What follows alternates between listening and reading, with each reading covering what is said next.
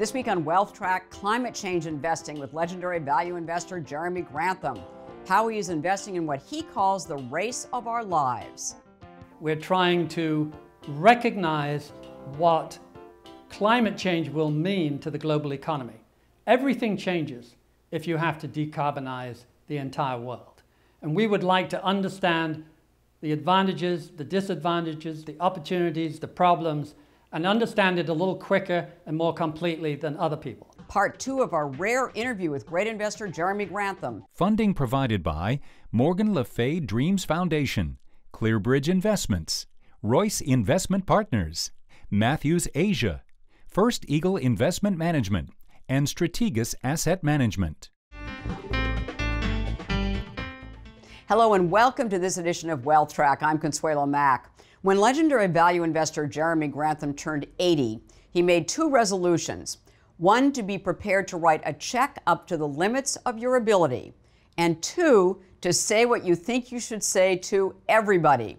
He is following through on both commitments. He is saying what he thinks he should say to everybody, including us, to our benefit. In the first of our two part interview last week, Grantham warned we are in a bubble of epic proportions in the U.S. stock markets bond market, and global real estate and commodity markets. That interview is available on wealthtrack.com. Back to his resolutions. He is writing the checks. He and his wife have pledged approximately 98% of their $1 billion plus fortune to the Grantham Foundation for the Protection of the Environment, a family foundation they founded in 1997, whose mission is to protect and conserve the natural environment. In recent years, a primary focus has been to fight climate change through advocacy, research, and investments in green technology innovation. While the foundation is investing heavily in early stage green venture capital companies, Grantham's firm GMO launched a climate change fund in 2017, which invests in publicly traded companies. The now $700 million plus fund has beaten its benchmark handily since inception and has earned a Morningstar four star rating. Individual investors can access the fund through financial advisors, including Fidelity and Schwab. Grantham, of course, is the co founder of GMO, a global investment management firm he started in 1977 that now has about $67 billion under management. His current title is long term investment strategist, having handed over the responsibilities of chief investment strategist several years ago. I began the interview by asking Grantham about his views on climate change and why he calls it the race of our lives. First of all, I think that's the most convenient and honest framing of the issue that the damage has escalated and the progress in technology has escalated, both of them far beyond what was hoped for or feared 20 years mm-hmm. ago. So that the warming of the ocean in the last 20 years is three times what it was in the prior 40 years the melting of the ice caps, the melting of the glaciers, is two or three times what it was 40 years ago.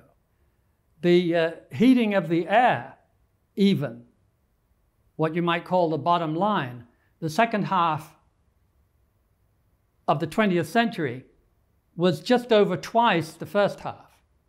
And by the end of it, and, and this century, it's another 50% increment. So we're going up by bigger and bigger jumps, which should make the hair on the back of your neck bristle. It, it's a right. terrible condition to be accelerating into uh, trouble.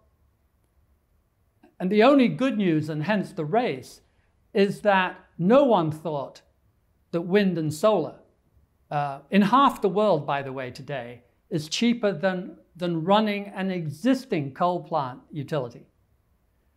You, That's you could, a big change. You could give them a coal plant, and right. uh, they still couldn't operate it as cheaply as half the world can build a brand new wind farm or solar farm. These are amazing shifts. And uh, solar in 20 years is probably down to 5%, and wind in 20 years is probably down to 10 or 15% of what it was. And storage, which is the third and absolutely vital component, has gone from $1,000 a kilowatt hour uh, to 100 today in 11 years. And the target is pretty clear for another halving. With solid state lithium batteries, And because it uses less material, at scale, it can really hope uh, to reach uh, $50. And at $50, it is cheaper to build uh, than a diesel or gasoline equivalent, uh, which will add to the fact it's been cheaper to run and cheaper to repair and maintain uh, for uh, five years. But so cheaper the economics build... are working out. Oh, they're brilliant. The advantage of clean energy. And they're accelerating. Right. The, the rate of progress, if anything, seems to be accelerating on the technology. However, the scale of energy sources um, is still very heavily weighted towards fossil fuels as far as where we are actually getting our energy from. And certainly, if you look around the world, and you know, China is still building many, many coal powered plants that, that's a little pessimistic outlook. For example, China has canceled most of, of the uh, coal utility plants that people are quoting these days. Uh-huh. Uh, right. They will simply never be built. Uh, China has opened so much more wind than anybody else that last year their wind was 75% of all the wind that the US has ever done added together. Mm-hmm. They make 80% of the solar panels. They are pushing absolutely as fast as you could reasonably expect in both directions to do green and dominate, incidentally, the green industries. We better be right. careful. We shouldn't let them become the dominant producer of everything green. But uh, they're also cutting back as fast as could be reasonably expected, in my opinion, on, on, on fossil fuels. There's a lovely uh, series of pictures that you may have seen it shows the Easter Parade in Manhattan in 1903. And there are, I would guess, 40 wonderful carriages with women with great bonnets. And right at the back, there is one giant automobile. And then the next one is, is 1913, 10 years later. And there are 40 wonderful cars with women with bonnets. And right at the back, there is one carriage. Right. it only took 10 years for that movement to take place. Do not kid yourself. When we get the bit between our teeth, we can change very fast. Just think of 1940, the number right. of destroyers and B 52s that we built, and then how many we were building in 1945. I mean, we can really move we if we it. have to. And we do right. have to. And the question is will we rise to the occasion? You should never underestimate the ingenuity of Homo sapiens, is how I like to put it, and never underestimate his ability to screw it all up. You've been quoted as saying that, that we're losing the race, uh, the, the battle uh, against We haven't lost change. it, but if you look but, back at right. the seven or eight years since we wrote Race of Our Lives Part 1, I would say the weight of evidence has moved against us. Uh-huh. You don't have to go back far in American history to find a president who denied the whole concept. I mean, this is that was pretty bad progress in eight years. Don't you feel that, that we've reached kind of a, a kind of a critical mass of opinion? And certainly there's a lot of evidence of that that's coming out of not only the government but also of corporations of a of a recognition that we need to go clean. And, and G7 and more green, right? The G7 statements were a very pleasant surprise, uh, getting Japan to swear off coal, etc. Mm-hmm. And I have no doubt the progress is accelerating. I think, though, if you look back at the seven-year period, you'd have to say the damage, the droughts, the fires, the ocean level rise, the scientific data was more impressive than the progress. I think if you look back over the last year, however, with the rise of uh, Swedish young girls as proselytizers mm-hmm. Mm-hmm. And, and crazies in London hanging the right signs up outside the right financial enterprises, mm-hmm. that the, the world has shifted. I would say finally we might have won a year in the last year. But certainly we have not lost the race, but we right. were losing it. Let's talk about uh, climate change investing. GMO launched a the GMO Climate Change Fund in 2017, and it's actually done quite well uh, 18% annualized returns versus 12% for its uh, benchmark. So, what is climate change investing? And let me add here that I am not a leader uh, either in climate change uh, or, or um, in investing at, at, GMO any longer. I am right. a kind of uh, old uh, important fogey nagging from the wings, is the best description of what I do. Do you take no credit for the launch? Was that not something that you encouraged? I, I had been I had been nagging on that topic for quite a few years. Let me leave it at that. Um, and uh, I, am thrilled that it's started, that it's doing well, and and the, the Grantham Foundation works pretty closely uh, with Lucas White and his team who who run the fund. Uh, right. Because what we see at the very, very early stage and what they see at the late stage is useful to both of us. And so we exchange notes on a, on a pretty regular basis. Um, what we're trying to do in Lucas White's fund is beat the market. We're trying to recognize what climate change will mean to the global economy. Everything changes if you have to decarbonize the entire world. And we would like to understand the advantages, the disadvantages, the opportunities, the problems, and understand it a little quicker and more completely than other people. There are some interesting moral dilemmas too along the way. What, for example, do you do about miners?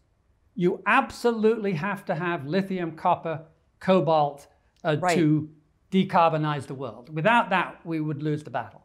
And there is no way you can mine those chemicals in a way that will make make an extreme ESG guy feel happy, right? Mining is intrinsic, you can be less damaging, but it's intrinsically a, a, uh, a dirty industry. Right. And, and we have to ask the question, I think, what are the most important issues? There's a certain amount of triage. The most important issue is you've got to have enough lithium and copper and nickel and cobalt to get the job done. So put that into the portfolio, put those considerations into the portfolio, and uh, apologize about the uh, non optimality of ESG. An right. ESG portfolio could never end up with a sustainable world for lack of miners. That's interesting. All right. So you've got to be realistic in your approach as well as how, how do you get to a sustainable world, and you need these dirty minerals, right? you need some pretty dirty minerals, and you can try yeah. and avoid the super dirty ones.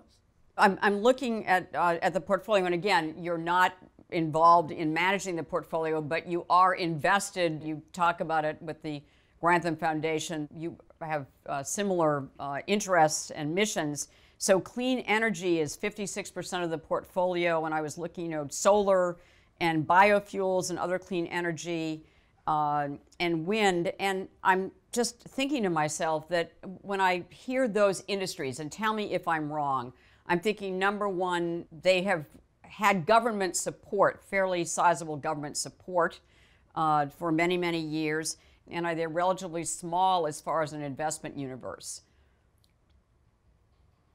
The government subsidies that were absolutely vital 20 years ago are no longer vital in wind and solar and storage, although in some countries they would still be helpful. Right. And I would recommend that they be continued for a while, but they are phasing out very, very fast and they will not be needed. We will have a plentiful supply of cheap green energy in, in 20 years, no, no question about it. Um, we need to green the grid and update it and maintain it. It's simply inefficient to the job. We're going to have to double our supply of electricity uh, in order to electrify everything that can be electrified. Electric motors are 99% efficient. A gasoline car is something like 40% efficient, depending on mm. how you measure it. And uh, in order to green the world, everything has to be electric, and the electric generation has to be green. And we can do right. all of this. It will take trillions of dollars a year. And some of it will be from governments, and mostly it will have to be commercial. And fortunately, um, the economics are such that it, it can be commercial and will have a high return. I would love to add a little bit about our VC portfolio at the foundation yes. uh-huh. because uh, we have uh, 25% of all our foundation in early stage green VC, um, which we do directly with our own team. And I think this is the only case of having your cake and eat it that I have come across in my, in my whole career. And that is when you invest in some of these brilliant new ideas, and Boston is a wonderful place to do it, we have right. armies of new ventures based on MIT, Harvard, and so on. When, when we do that, I believe we drive the cause for greening the world and saving the planet better uh, than most grant dollars that we make. And the money goes out, makes a profit, comes back, increases the grant, and gets redeployed in the portfolio over and over again. It is a wonderful opportunity for a philanthropic organization to use its capital. Mm-hmm. And we are trying to drive that principle forward and persuade everybody that we can. Because I think it's a candidate, Green VC, to be the highest possible return of any investment for the next 20 years because the wind is so clearly behind it. There will be carbon taxes around the world. There will be incentives. There will be masses of corporate and government money flooding behind uh, the decarbonizing. And to play into that with a brilliant new idea is running the chance of being the best of the best. This is an area that you said that the private sector, commercial, uh, and philanthropists can play a very important role in encouraging green venture capital, right? Absolutely. And there is, there is an element of bubble about quite a few of the areas. And, and, and that's true, of course, in the public domain. Of course, in VC, there, you don't get the chance to buy crazies because they're all brand, brand new enterprises. Right. Is green investing a sector that's in a bubble right now? Decent chunks of it are, are looking bubbly, as are, by the way, decent chunks of almost any aspect of the market, almost right. in every asset class too, housing and real estate and forests and farmland. So it's hard to stay away completely uh, from, from bubbles. But you also have to think of the tech bubble of 2000. Amazon declined 92%. It soared upwards in 99 to a couple of hundred. Then it collapsed 92%, and then it made everybody who owned it rich. But you can't imagine too many people were able to stand the pain of a 92% decline. The fact is that bubble, though, clearly accelerated the development of the internet world. And clearly, this bubble, in terms of driving the cause for greening the planet, is hugely helpful. For the investor, tread carefully, select wisely, but it is clearly going to help in the long run everybody to have a flood of money uh, behind green new ventures and established green enterprises and, and ESG.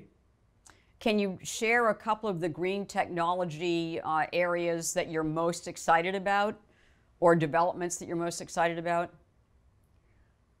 Well, I have to admit I am very excited about solid state lithium ion batteries.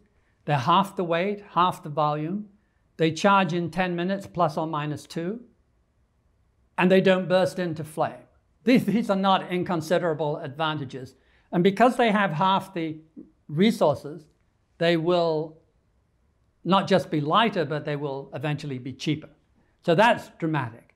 And then we have an a small army of investments that are very close to the kind of biochemistry line where mm-hmm. you use RNA to produce insecticides that address only the Colorado potato beetle. And it is instructed to turn off its ability to digest carbohydrates. So the poor beetle gorges on, on potato and drops dead, either from constipation or starvation, we're not sure which right. and totally free of toxic doesn't apply to any other insect in the animal world, which is brilliant. And also, right. bacteria that will sequester nitrogen to displace the huge carbon intensive Haber Bosch process that feeds half the world. Nitrogen, you can't grow food without nitrogen, and half of it is artificial.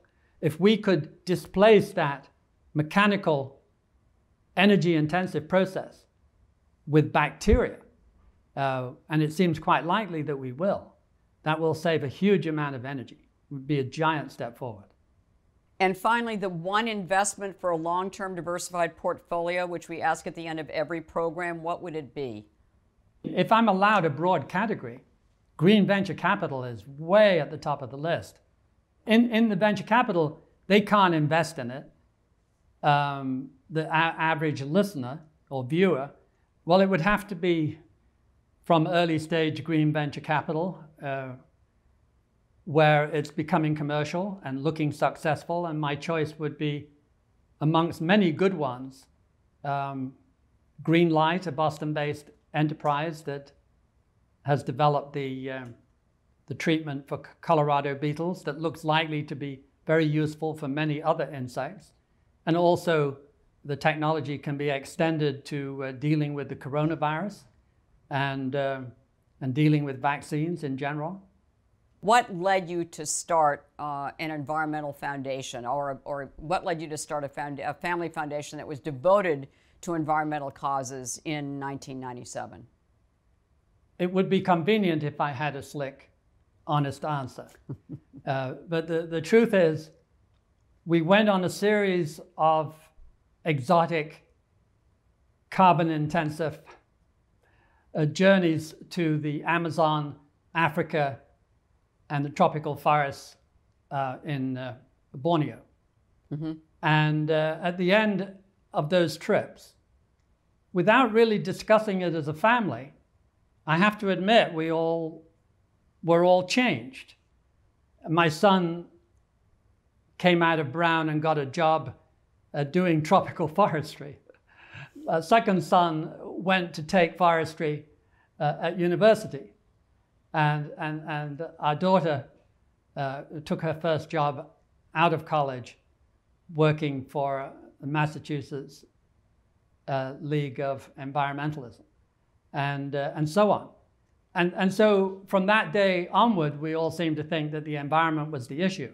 And as we right. focused on the environment and decided we would no longer give money towards alma maters and so on, we realized that the field of environmentalism was dominated by climate change.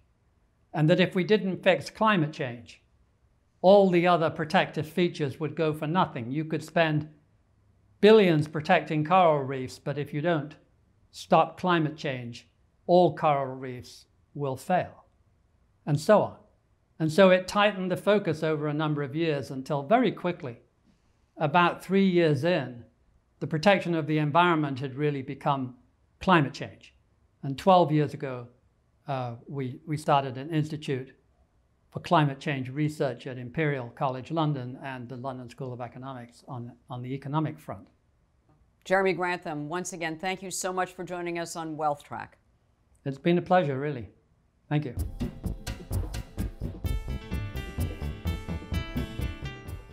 At the close of every wealth track, we try to give you one suggestion to help you build and protect your wealth over the long term. This week's action point follows Jeremy Grantham's lead. It is put your money where your mouth is. There are more opportunities to invest in what you believe in than ever before. There are numerous top quality companies providing essential products and services. There are hundreds of thematic ETFs and mutual funds available. You don't have to be as successful as Jeremy Grantham is to benefit from investing in companies and funds that reflect your values and causes. And if he is any indication, you can derive a great deal of satisfaction from doing it. Next week, award winning historian and best selling author Niall Ferguson explains how understanding history can make you a better investor. In the meantime, in this week's extra feature, Grantham discusses his early pioneering adoption of index investing and its advantages and disadvantages.